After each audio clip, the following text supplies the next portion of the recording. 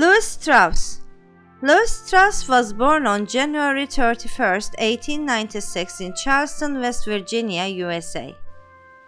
He attended the public schools in Richmond, Virginia, and later earned a Bachelor of Arts degree from the University of Virginia in 1917. During the World War I, Strauss served in the US Navy as an ensign.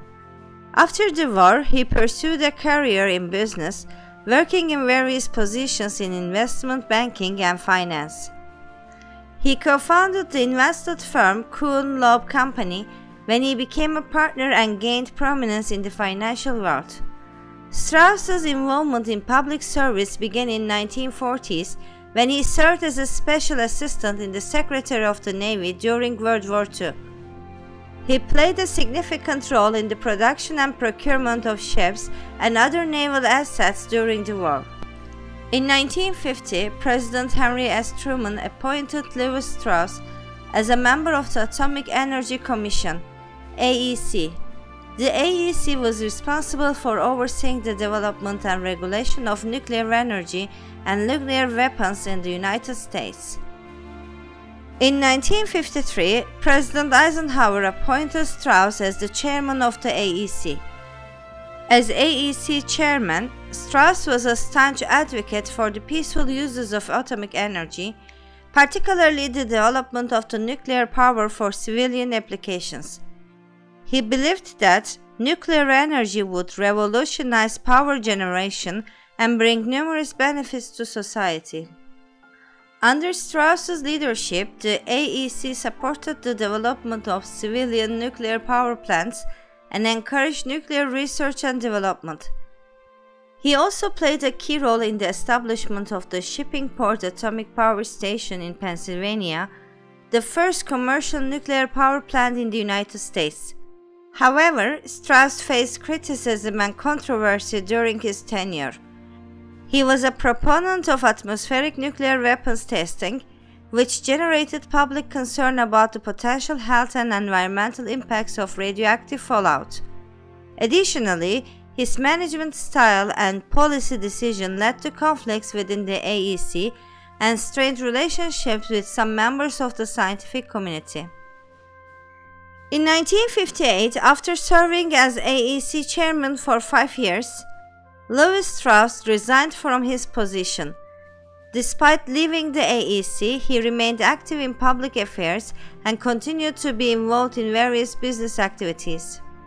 Lewis Strauss passed away on January 21, 1974, at the age of 77.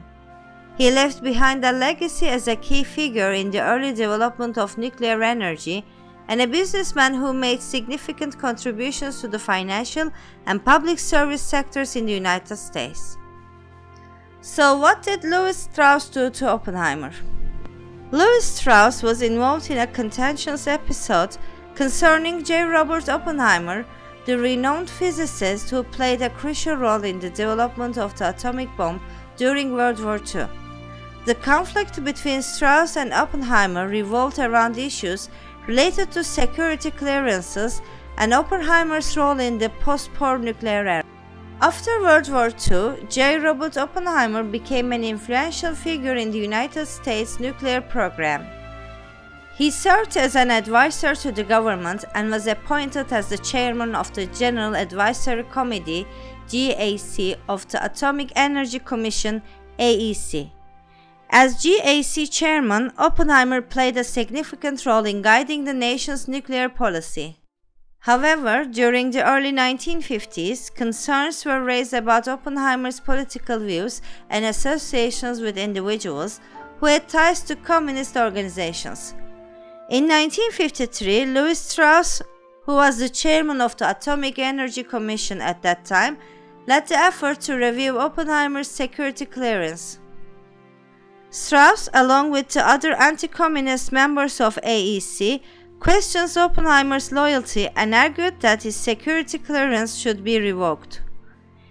They claimed that Oppenheimer's past associations and his reluctance to endorse certain nuclear weapons development projects raised doubts about his truthworthiness with sensitive information. The security clearance hearing, known as the Oppenheimer hearing, took place from April to June 1954.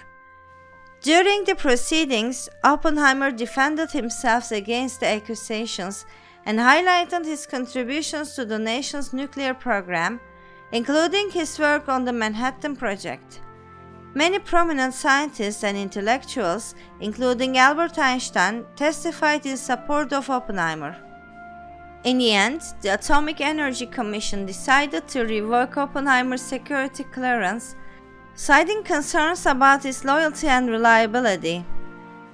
This decision was met with significant controversy and debate within the scientific community and the broader public. The Oppenheimer case became a symbol of the tensions between civil liberties and national security during the early Cold War period. Many viewed it as an attempt to punish Oppenheimer for his past political associations and to stifle dissenting voices within the scientific community. Lewis Strauss's role in the Oppenheimer case has been a subject of criticism and controversy over the years. Some saw him as orchestrating a campaign to discredit Oppenheimer, while others believed he was genuinely concerned about national security and acted in the best interest of the country. Regardless of the motivations, the Oppenheimer affair remains a significant and contentious episode in the history of science and government relations in the United States.